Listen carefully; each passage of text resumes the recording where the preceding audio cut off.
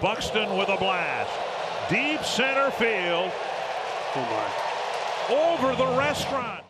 Buxton hits his longest home run of the year. That's the seventh longest Twins homer of the season. Why they had this guy bunting in a big situation later, I don't know. I don't know. Twins losing extras. I don't want to spend too much time on this Twins game. Uh, but Josh Donaldson also homered in the first. These are both in the first inning. Uh, Donaldson hit his 22nd home run of the year. And this was more of a laser beam than a majestic shot like Buxton's. But uh, look at this just controlled violence of Donaldson's swing. Boom. I know a lot of people, when you get a big contract, a lot of people are, you're just never going to live up to it. But he, I think he has to me. I mentioned it last night. I'm going to say it again. And uh, before the game, Do-Hyoung Park of MLB uh, relays the confirmation that we're not going to see Taylor Rogers. We're also not going to see Randy Dobnak this year, more than likely. So that's unfortunate. But I want to get to the minor leagues. There's a lot of fun stuff to talk about. Jordan Balazovic, six no hit innings. He did give up a run on it was a walk, a stolen base, and then a wild pitch, and then a ground out scored the run. So that's how you score a run without giving up a hit. Uh, but again, six no hit innings, walked two batters, struck out five.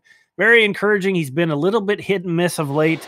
And let's and go the to Tim 0-2 Grubb. pitch chased a pitch up and out of the zone, and Balazovic, 96, gets him to chase one up and away. And the one ball, no strike pitch going to be a little roller right side. This could do it as picking it up. First baseman throws it over the head. Martin is on his way to second. A run is in. And the wind surge may be able to try to get another run here. They're going to throw home. Everybody's safe. And you get two runs as the Naturals defense has crumbled in front of us. Back and forth. Martin still is avoided. He's still safe. Austin Martin making stuff happen. Aaron Whitefield scored from first base on that play. Tim Grubb's the Wichita play by play guy. We're going to hear some more of him. I just love him. But Trey Cabbage, he hits his 26th home run of the season here in 101 games in the minor leagues. Just massive power out of him this season. Uh, again, back to With Tim the kids' here. day.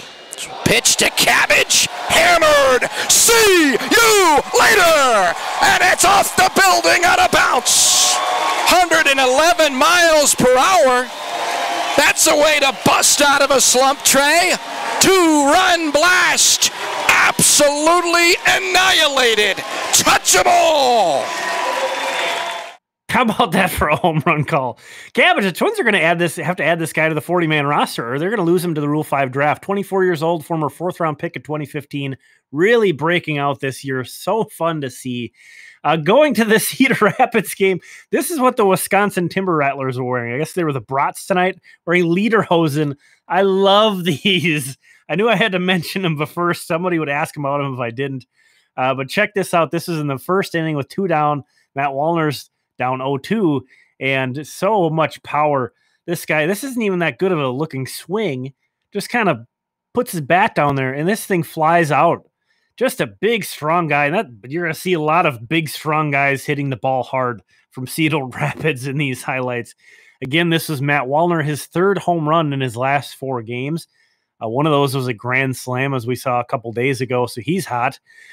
Uh, the definition of hot is Aaron Sabato right now. Here he is. They went back to back. So this is the very next hitter in the first inning. Sabato hits this one. I guess it landed right next to his face on that video board up there. So just an absolute bomb. Sabato, when he's making contact, his power is enormous. Uh, just destroy. And he, you know, he, he he doesn't have that violent of a looking swing. You know, speaking of violent swings, Later on, tie game in the ninth inning, Sabato does it again. A two run home run way out of here into center field. And the Kernels went back to back again because this time it was the guy after him. He followed Wallner in the first inning to go back to back. This time it was Alex Isola following Sabato. This is a bomb from Alex Isola, and this was his second home run of the game as well. So Alex Isola, a former 29th round pick in 2019, hit his 16th and 17th home runs. He's a catcher. He also entered tonight with a 352 OBP.